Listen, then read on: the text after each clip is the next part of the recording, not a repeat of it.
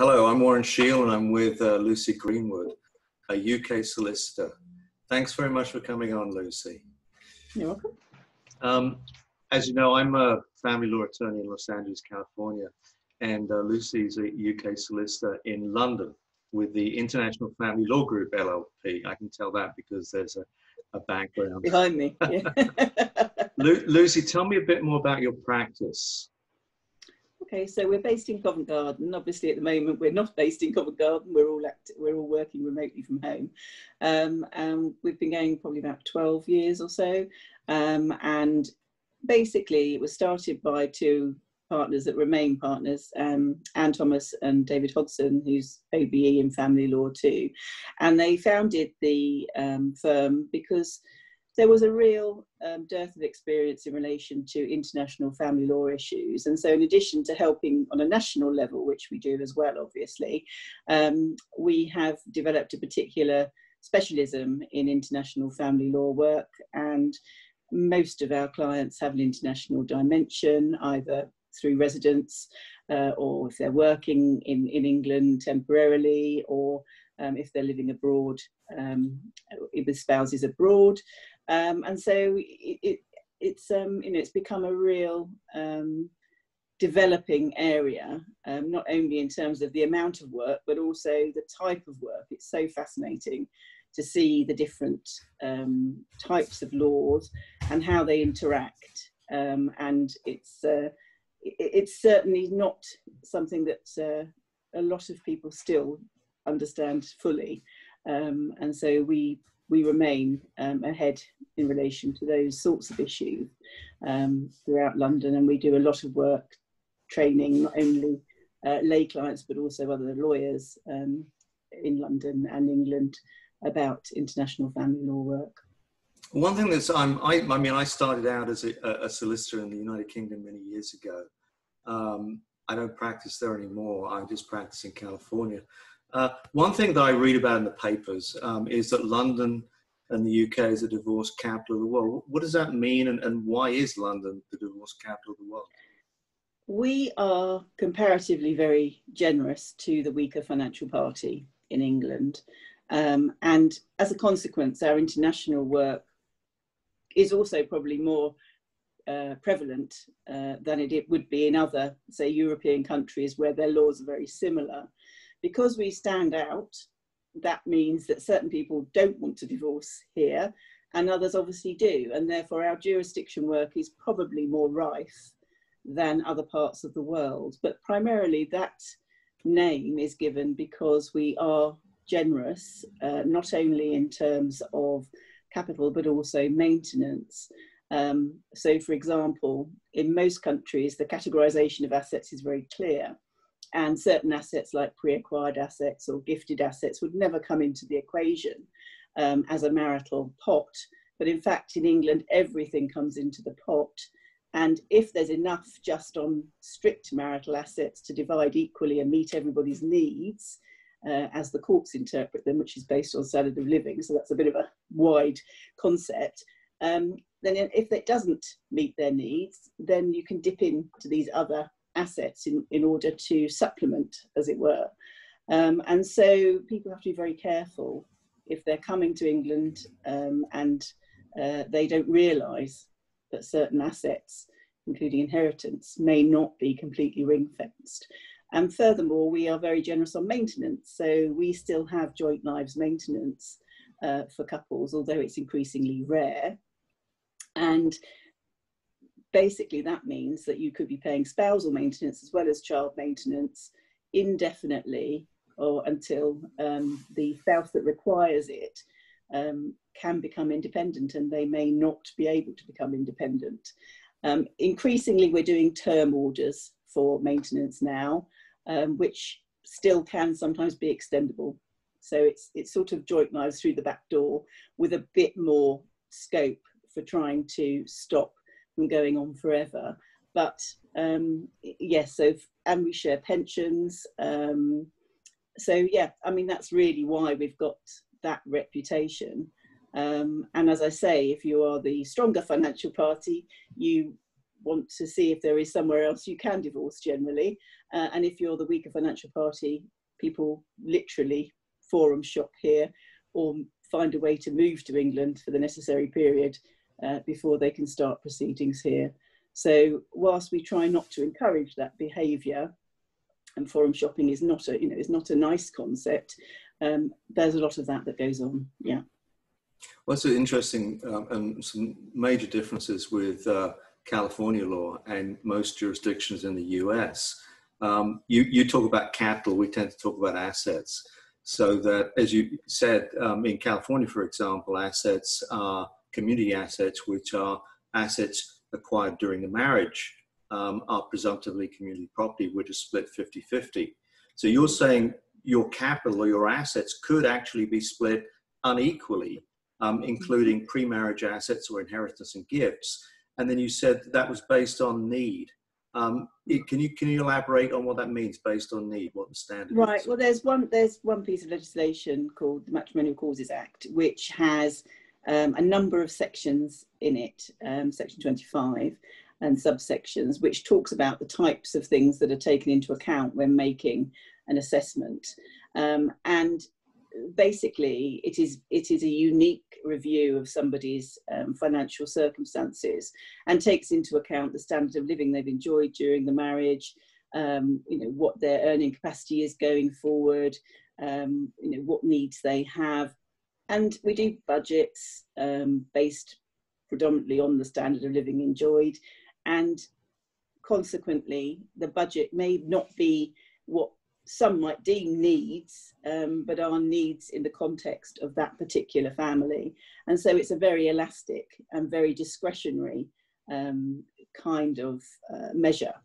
Um, and then you sort of cross check the budgets by the party's income, see what they can afford, um, and you come to a figure basically. So there's no formula for spousal maintenance. There is some formula for child maintenance if you're earning um, below a certain level um, and you both live in England. Um, but otherwise, we have no formulaic approach to family law at all. It is very discretionary and therefore not something you want to necessarily leave for the courts to decide.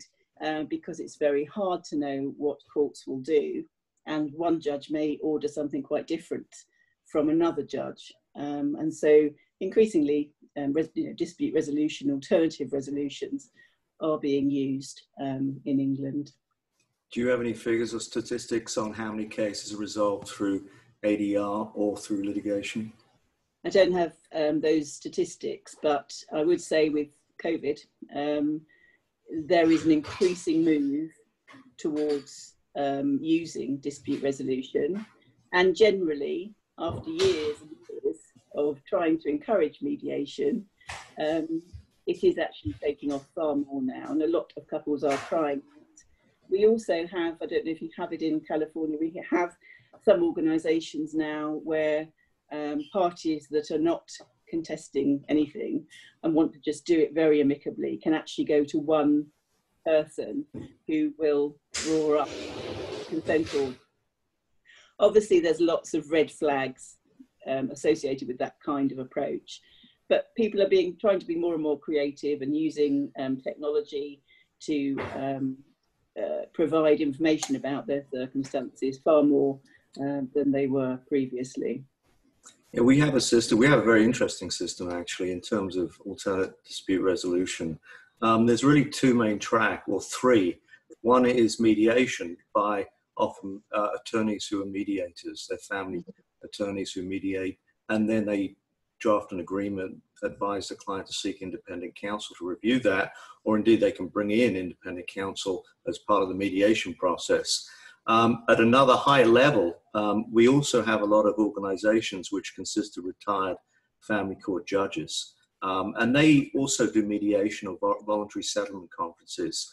Um, those cases tend to be um, heard um, where the case has been in litigation. Both sides have mm-hmm. attorneys, um, and they seek to do a voluntary settlement conference uh, for a mm-hmm. day or, two.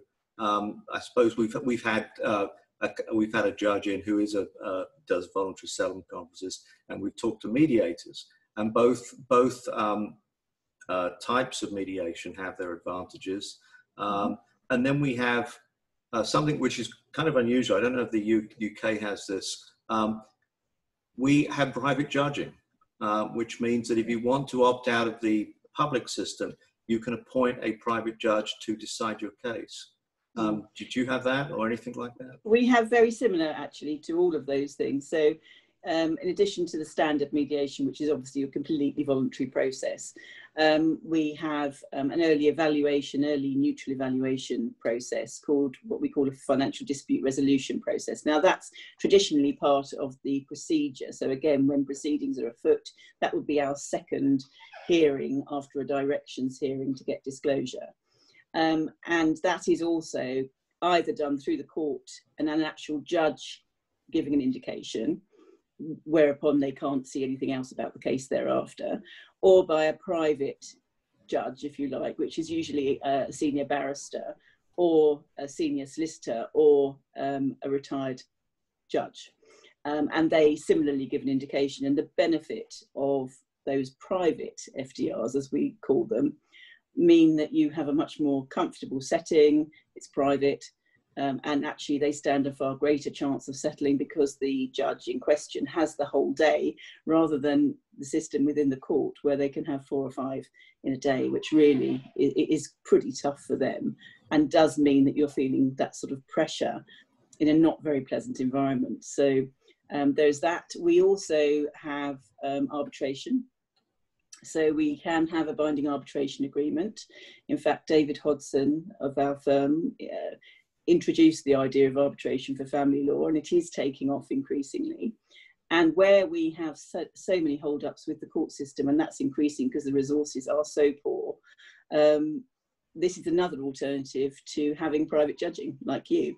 Um, and so we can, we can either be on a preliminary issue or it can be the whole thing. Um, and that is then a binding agreement which can be made into a consent order, which the courts will recognise. So the courts work with, alongside those dispute resolution um, approaches and are very supportive of them. Um, so if you reached a private FDR, conclude, you know, concluded private FDR, the judge would, in all, in all probability, say that's absolutely fine and accept that um, as an order, albeit all of our orders have to go through a judge to confirm that they deem them fair, uh, whatever that is, again, with the uh, discretion that they have. So most settlements are encouraged and are supported by the judge um, once the, for the order to be made. So there's lots what, of alternatives. One thing I'm, I'm, kind of curious about is uh, where you where judges come from. In California, um, judges come from all over the place. Um, we don't have a bifurcated system where we have barristers and solicitors. We just have attorneys, and so a lot of family, some family court judges um, used to be family court attorneys before they became judges. Um, increasingly, we're seeing a lot of judges who come from big firms, maybe managing partners in civil litigation firms. Uh, we, we have ex district attorneys who become family court judges. And, and, and, it's a very difficult posting because of the volume of cases and the demands on a family court judge. Where, where do your family court judges come from typically? Um, they can be solicitors or barristers. Um, we don't have judging judges school like they do in Europe. Um, in Europe, you actually take a course either in being a lawyer or a judge. Um, so we don't have Not a that. Bad idea. Yeah. Um, and so yes, I mean it's it's generally um, you know coming from the actual bar or the solicitors' uh, practices themselves. So, for example, David sits as a deputy district judge um, in the uh, Central Family Court quite frequently. Um, so yes, I mean that's really how ours are are grown. Um, and we're fortunate in central London that we have quite a few specialist family judges.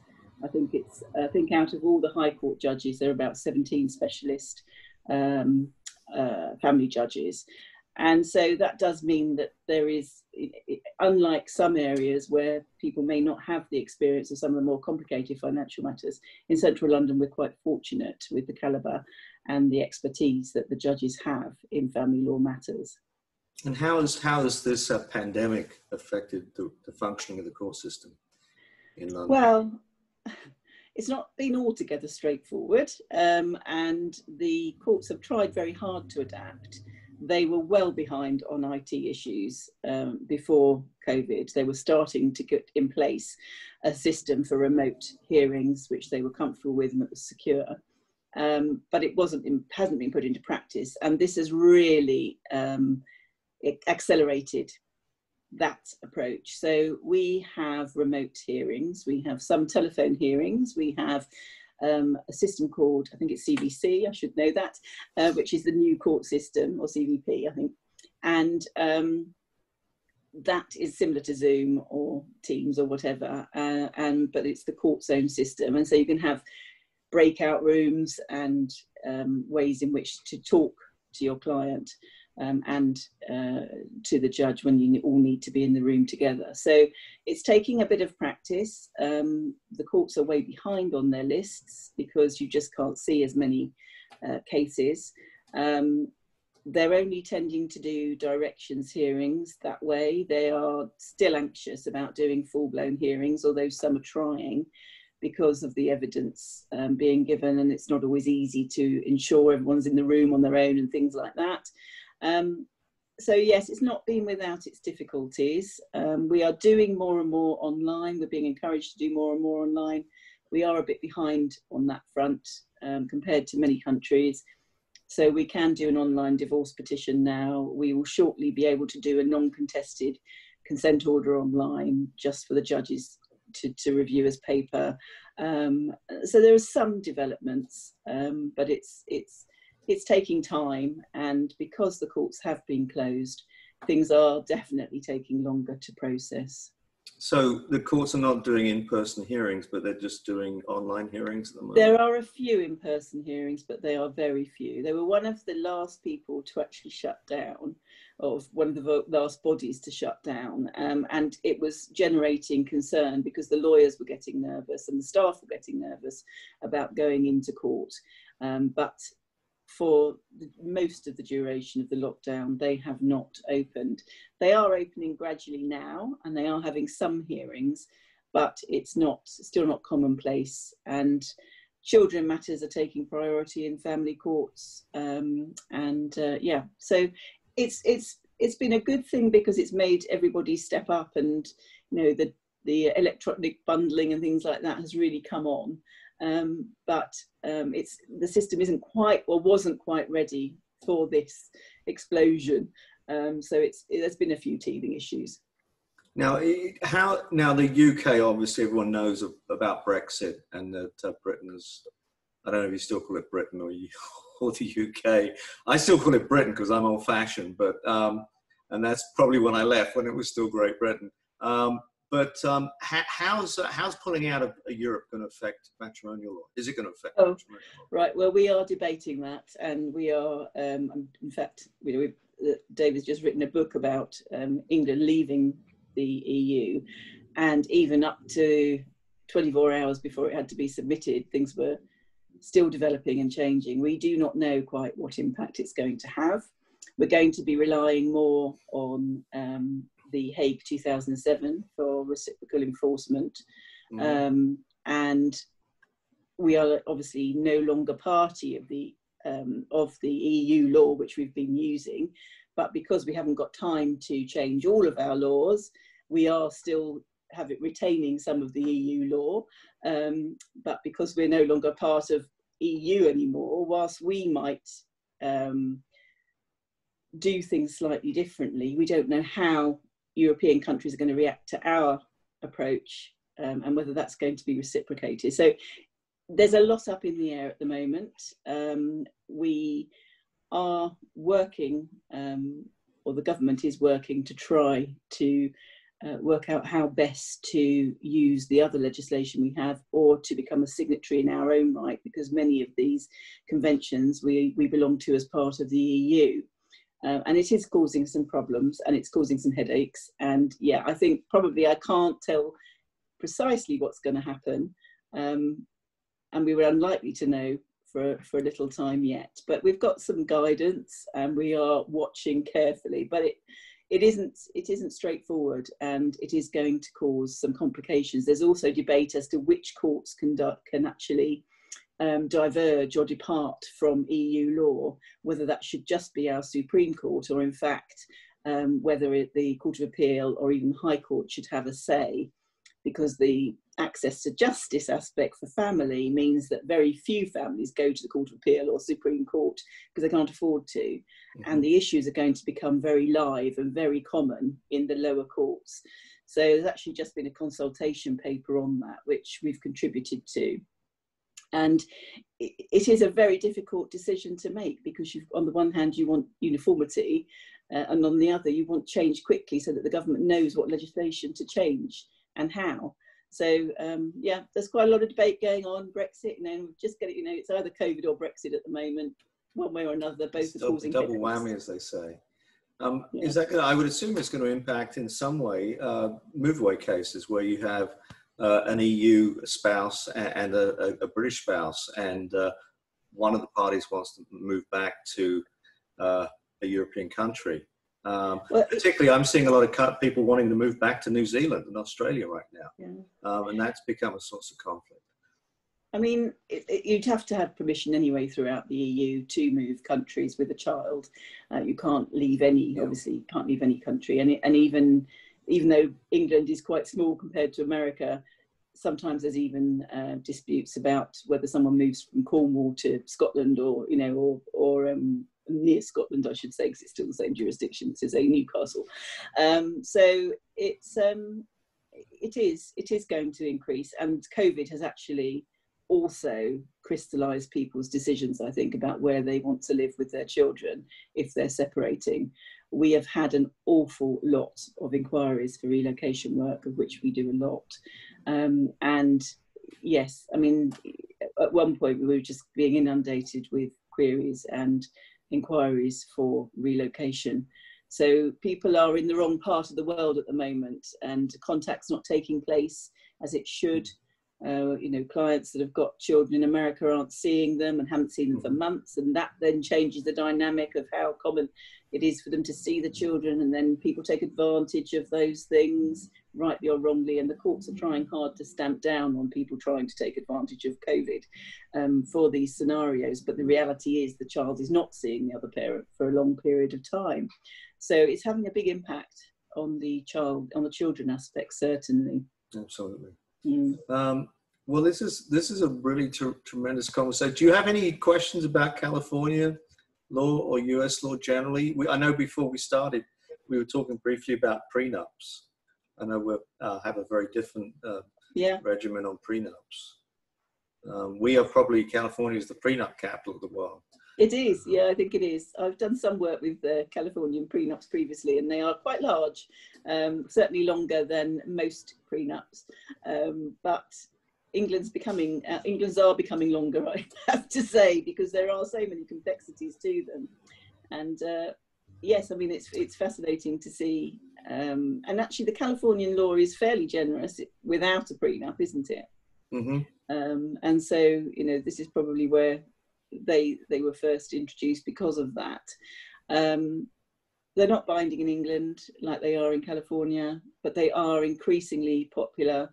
They are very very useful documents for English proceedings. Well, I can I can tell a, uh, someone who wants to get a California prenup and has uh, connections with the jurisdiction in California that they mm-hmm. follow all the formalities of the family code um, and the premarital act then we're fairly confident that the prenup will be enforceable as mm. long as the terms are not against public policy or unconscionable. Um, mm-hmm. so I can say that with a fair degree of certainty. Mm. Um, with when you say um, you know a prenup in the UK is, is not necessarily enforceable, I do know there's some House of Lords or your Supreme Court cases that have upheld prenup. Yeah. So when a client comes to you and says, "I want to do a prenup," tell me if it's going to be enforceable or not. What, what do you tell them? Right. Well, we've got guidance, and there since the case you're probably thinking about Radmacher um, in 2010, um, there have been uh, has been a movement, and basically the law has now said that provided what is suggested is fair, um, and the parties acted in good faith, they entered into with their eyes open, full disclosure, uh, in good time before the marriage. We suggest about 28 days before the marriage, um, and there's no, you know, as I say, undue coercion, um, then it is likely to be upheld. There's got to be a good reason not to. Um, the times when our courts will step in is if it again thinks that reasonable needs, as it sees it, haven't been met by the provision of the marital agreement. And sometimes they don't actually interfere with the agreement. They might instead use child maintenance, which obviously can't be well, I don't know if it's the same in California, but in England you can't put that and and be, by, be bound by it in England. Um, and so we have quite robust powers for even um, unmarried families um, with children. So the courts of married families also have these strong powers to make quite sizable orders for children. Um, and therefore, they tend to interfere in that way. There's also been a couple of cases where the actual um, approach to how you sign a prenup has had an impact. So I know that, for example, countries where they are binding, because there's no other way to um, sort of unravel or, or to um, defend them, you are reliant on looking at the sort of procedural aspects far more than you might otherwise be. And I know that um, in, you know, in certain countries, the way in which you sign a prenup is incredibly important. Um, and if that's not being met in some situations, then the courts have used that as an excuse to go behind it. Um, but they have to have this balance of what people want for themselves and choosing for themselves and it being fair. Um, and, and that's really how the English courts look at it. Uh, but, uh, but increasingly they are being upheld. Um, and as long as they're not ridiculous, then you know they may well succeed. So when they're looking at fairness or notions of fundamental fairness, they're looking at reasonable needs based upon, you know, for example, their standard of living or what it costs to live in London, which is a very expensive I mean, city, probably more yes, expensive than Los Angeles. It is. I mean, basically, it's what they're going to need to, you know, meet their requirements. Um, but it's probably going to be um, tamed a little bit. So it's even if you don't succeed entirely on uh, on on uh, enforcing a premarital agreement, you are likely to curtail your um, provision because the judge will take into account that you had both agreed to this and you were quite comfortable with that idea at the time. So it's, you know, from many perspectives, it's useful. And also it means that you can set out the categories that you definitely do not want to touch. Um, and so unless, again, they really are needed and there just isn't enough money to meet in any other way, they are more likely to be ring fenced um, in a way that uh, you can't guarantee without one. They're very useful in child maintenance uh, in California, we have a program called DissoMaster, um, which is a computer program. And so, in theory, it should be very simple. We put in these variables such as each party's income and the custodial timeshare, their parenting plan, and it, it spits out a figure. And so, Bob's your uncle, you have your mm-hmm. child maintenance, or we call it child support. Um, but you only have guidelines so You don't have a formula or a mathematical formula. We have a formula for child maintenance for national couples. So if you're both living in England um, and you earn, I think it's under 158,000, um, then you can use the child maintenance service formula. And that's based on you know putting in a figure for your income, how much time you have with the children, and know, as you say, a, a number popping out.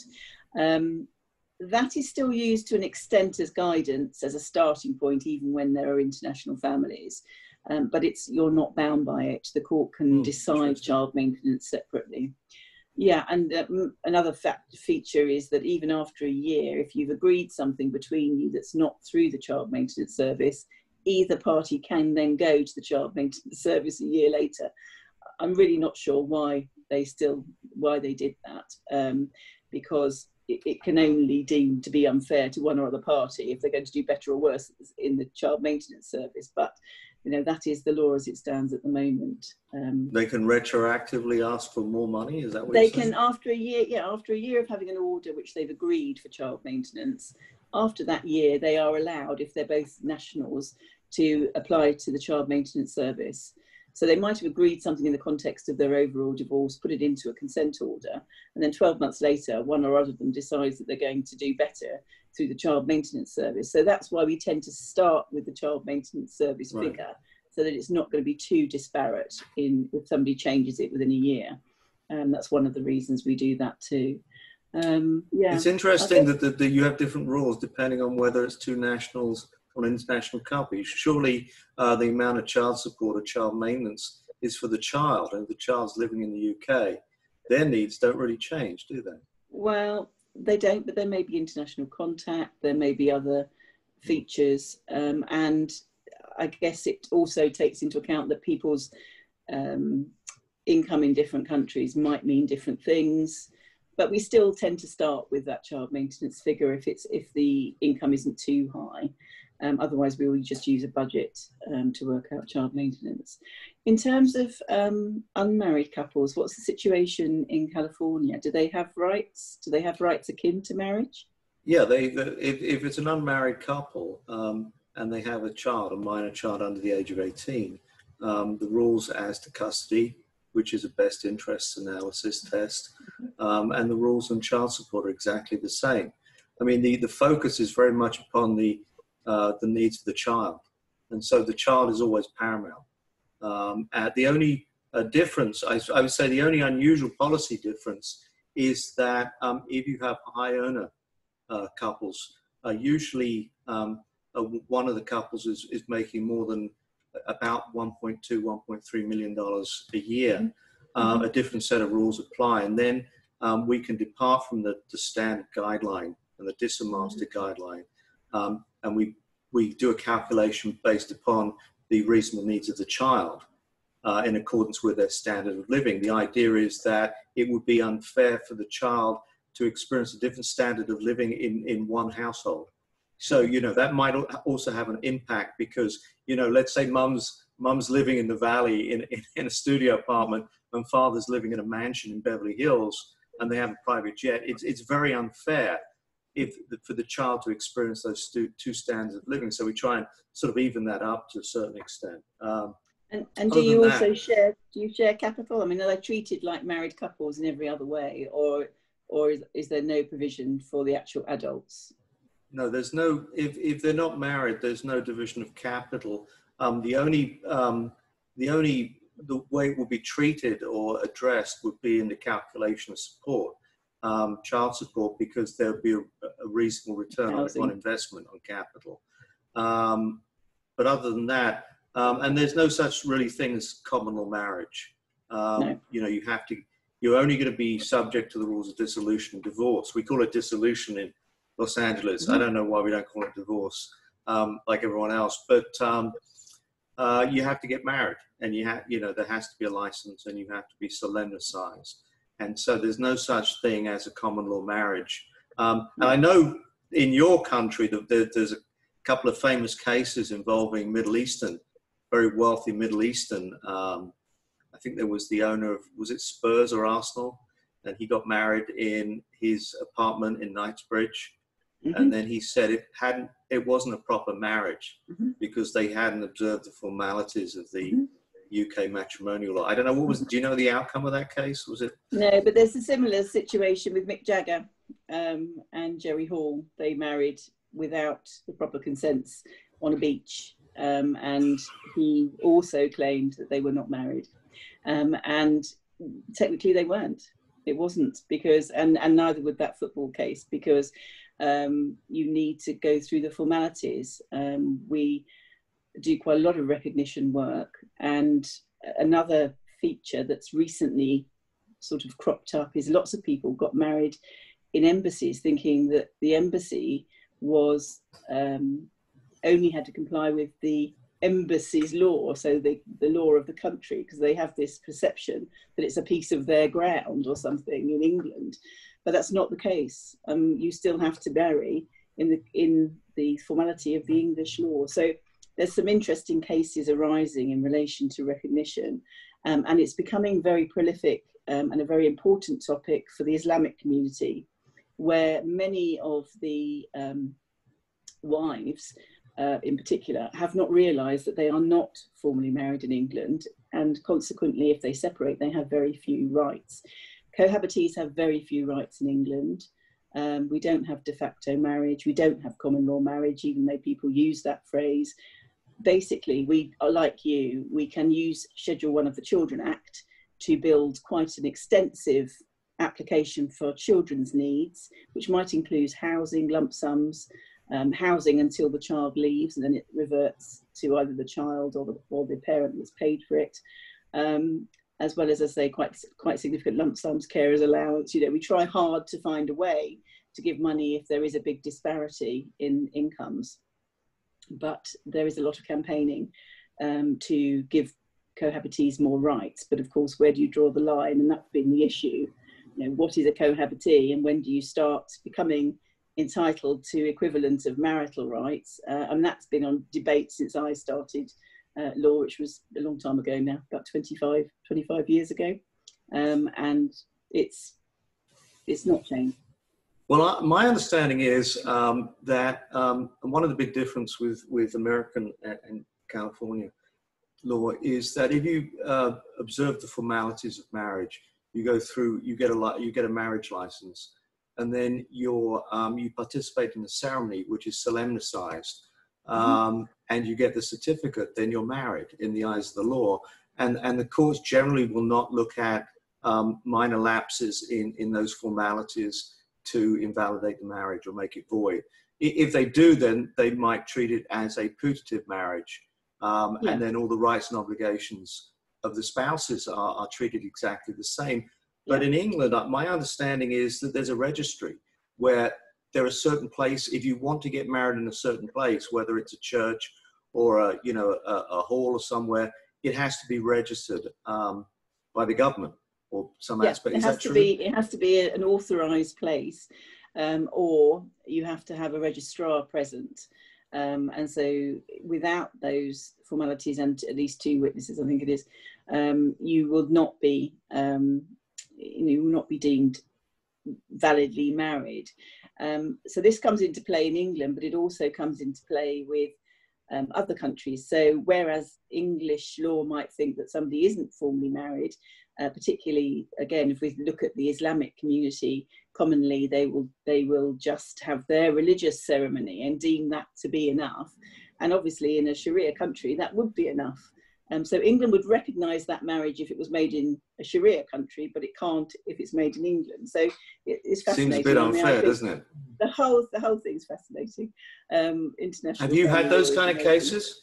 Have you had cases where women come in and say, and you have to tell a woman that she's she's not technically or legally married? I mean, how, mm-hmm. what do you do? Do you I mean, say? it depends whether it's a technical issue or a fundamental issue as to whether her claims are severely impacted. Um, but um, yes, I mean, these things happen just as people that have got um, a premarital agreement from a European country, which they did together with a notary the day before they got married or on the morning of the marriage, or a tick box to say that they're going to go for a certain regime. I have to say to them, no, you're not protected in England. That's not enough. Um, so there, this is the this is the nature of international work, as you all know, um, that you have so many disparities um, where you have these sort of people you have these situations where people are coming to you and because they're not aware of these situations they find that their rights are nothing like what they thought they were because their status has changed as they as they've changed borders um, so i mean that's what makes the work so interesting for us but is also so complicated for clients to understand so yeah well, um, thank you so much, Lucy. It's been very uh, illuminating, uh, very interesting. I'm, I'm, I'm, I'm happy to be practicing in Los Angeles, and um, but I love uh, I've loved practicing in London as well, and I hope to work with you or continue to work with Absolutely. you. Absolutely. Um, mm-hmm. If you just, we can see your um, your um, at the back there, your website. That's iflg.uk.com. That's the one yeah. and you're a family solicitor and I'm a family attorney. And so again, uh, thanks uh, very much and uh, hope to welcome. work with you again soon. Thanks very much, Warren. Okay, bye-bye.